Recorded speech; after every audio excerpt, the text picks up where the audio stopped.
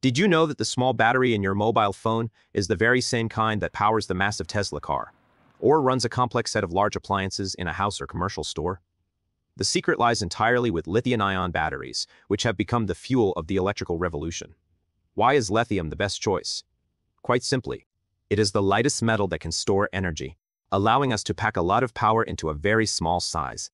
This has made it the king of everything that moves. Modua how the magic cell works.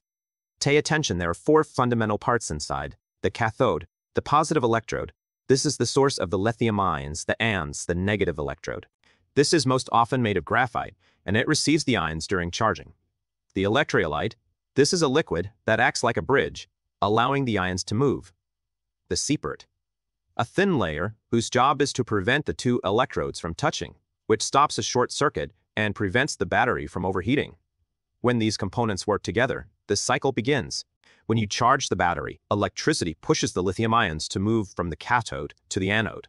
When you use your power, the ions move back the other way, generating an electric current. This repeated cycle is what allows you to charge and discharge hundreds of times. Mazurjan's safety and environment. However, the story isn't all positive.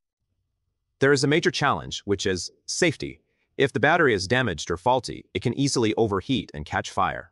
But this is where a new leap in these batteries has emerged. This is the lithium iron phosphate LFP battery.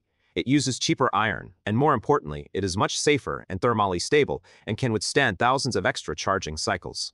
That's why we see it being used in solar energy projects and large-scale electricity storage. The second and final challenge is environmental.